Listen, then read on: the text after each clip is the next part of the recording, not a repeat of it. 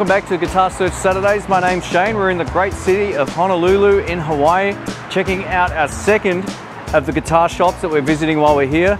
This is the Easy Music Center, located in Honolulu. Firstly, a huge thank you to Peter, the owner of the shop, for letting us do this walkthrough. I really appreciate it. If you do enjoy the series, please leave a thumbs up. It really helps. If we can get it to 1,000 thumbs up, that would be awesome. This video is not sponsored, by the way, so we pay our own way to get here, and we love checking out guitar shops. A massive thanks to Rhiannon behind the camera for all her help with this particular series. This shop is stacked full of gear, so I think you'll get a kick out of what they have to offer. Let's go in and check it out. Easy Music Center is Hawaii's oldest musical instrument store. It's been locally owned and operated since 1939.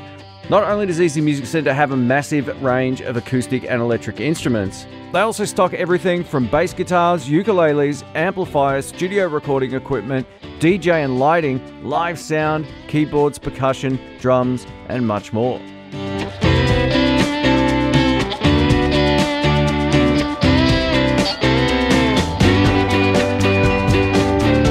Easy Music Center has, without question, one of the largest ranges of electric and acoustic instruments I've seen anywhere. It's great to see a locally owned business of this magnitude. It's pretty cool.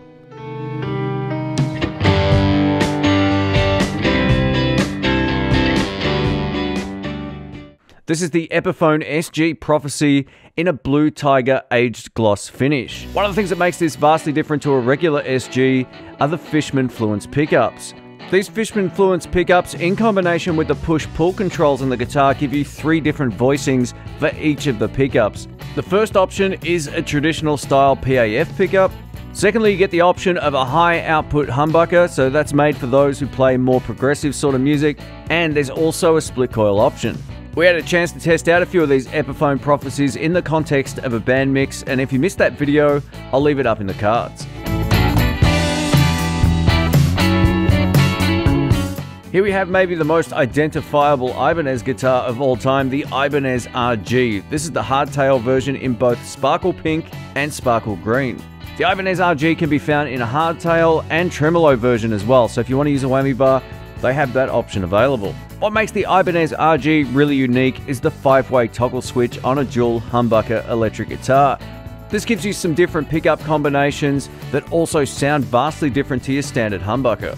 I think these guitars are really great value for money, coming in at 399 US dollars. There's not a lot of great metal guitars at that price point that play as well as these.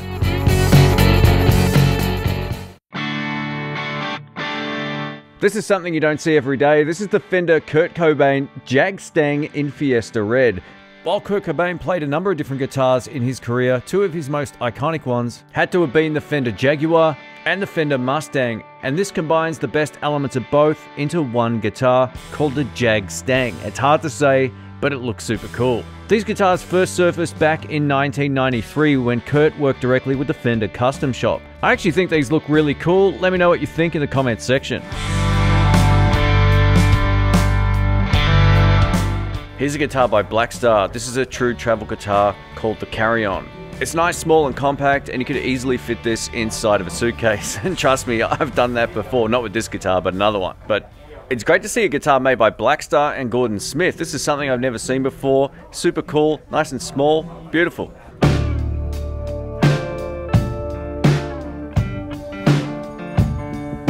One of my favorite amplifiers from Fender when it comes to drive channels is this. This is the Bassbreaker 30. It's a 30 watt combo and this has one of the most musical sounding overdrive channels that Fender have ever made. This is the equivalent of a Marshall DSL 40. If you're on the fence between a Marshall and the Fender, I would say the Marshall has a little bit more attack and bite on the note, whereas this, this has a bit more of that full round kind of sound that we've all come to know and love. And this, while the configuration I guess is similar to that of a Marshall, they do sound very, very different. On the opposite side of the Tweed one is the standard amp. I didn't even see this until I spun around. So this is what they normally look like, and this Tweed one must be some sort of Fender special run. Pretty cool. Here we have a 20 watt desktop amplifier from Yamaha. This is the THR-10 II. This gives us 15 different amp models and 8 different effects. It also works with bass, which is pretty cool considering its compact size. While I haven't reviewed one of these on the channel, I have had a chance to play one, and they have a really big stereo sound. It almost sounds like a produced guitar track.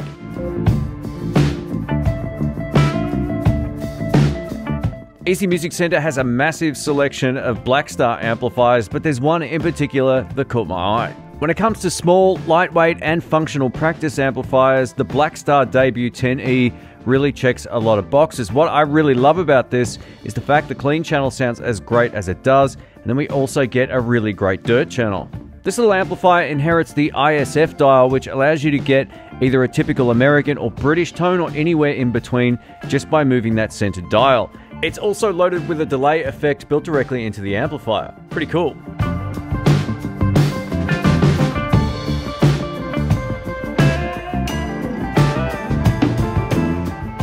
Easy Music Center has a massive selection of Fender guitars, basses, and amplifiers. This is the Fender 68 Pro Reverb amplifier. It's rated at 40 watts. It has 6L6 output valves, very reminiscent of that of a Hot Rod Deluxe, except it has more of a vintage vibe to it. This isn't a reissue, even though it says 68 Pro Reverb. This takes inspiration from other Fender amps and repackages it into something that's a little bit more portable and practical that will fill a room no matter where you play. This is a great sounding amplifier without being too heavy, which is always a good thing. If you haven't tried one of these, give them a shot. I really think they're up there with some of the best.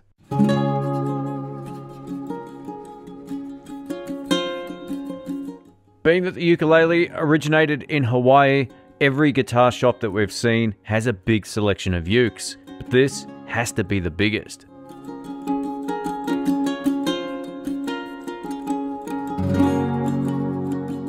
Easy Music Center would have to be the go-to location for acoustic guitars, especially if you're a fan of Taylor.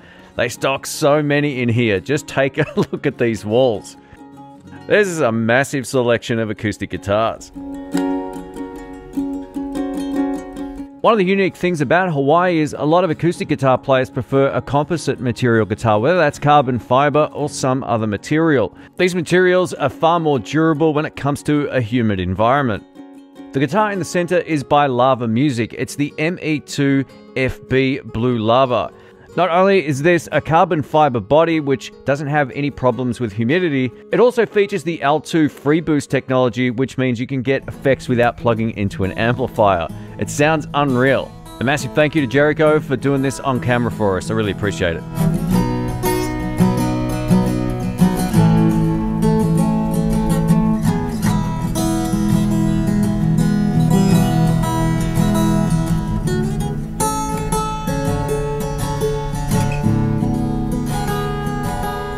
How about that? That's an acoustic guitar with a reverb effect without needing to plug into an amplifier. What a great design.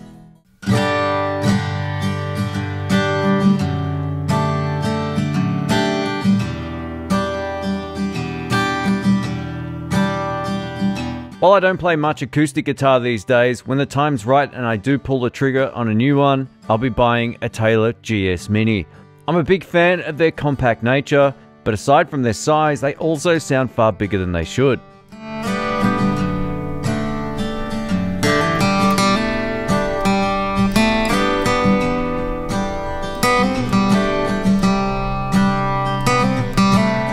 The pedal selection is massive. I think when the pedal distributors asked Easy Music Center which ones they'd like to stock in the shop, Easy Music Center just said yes. it means they've got just about everything from all brands.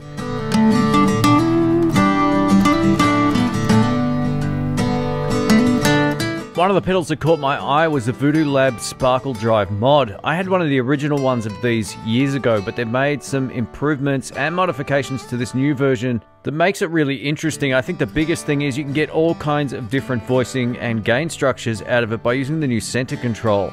With the mod control all the way to the left, you're getting the typical tube screamer sound. 1, 2, and 3 are different variations. Some add more bass, more gain, more treble, and more mids, making them appeal to different types of musicians playing different genres of music. I think this is a really great pedal. If I had have noticed this on the day instead of just filming, I would have given it a shot. Easy Music Center has everything, and I tried to showcase a good mix of stuff that you haven't seen on prior episodes. If you're looking for a Gibson, an Epiphone, a Squier, Fender, Ibanez, Yamaha, this shop has it all. A massive thank you to Peter from Easy Music Center for letting us do this walkthrough. I can highly recommend this shop. It's a massive store. There's just far too much cool stuff to cover in one episode, and I hope you've enjoyed it. A massive thanks also to the subscribers, channel members, and the Patreon crew that help power this series. So if you're new to the channel, don't forget to subscribe, leave a thumbs up. If we get this, this to 1,000 thumbs up, that would be awesome. This video is not sponsored. We paid our own way to get here and I hope you like this series, something different and hopefully a little bit unique. So if you're in the city of Honolulu, go check out Easy Music Center. Catch you on the next video. See ya.